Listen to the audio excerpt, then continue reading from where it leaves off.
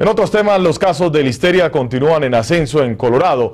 Cuatro más fueron reportados en los últimos días, elevando el total a 13 desde el primero de agosto.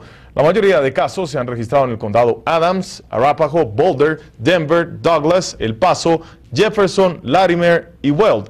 Dos personas murieron debido a esta infección gastrointestinal y otras 11 ya fueron hospitalizadas. Las causas de este brote aún están bajo investigación y las autoridades de salud del estado no han determinado si todos están conectados entre sí. El promedio de casos en Colorado de listeria es de 10 cada año.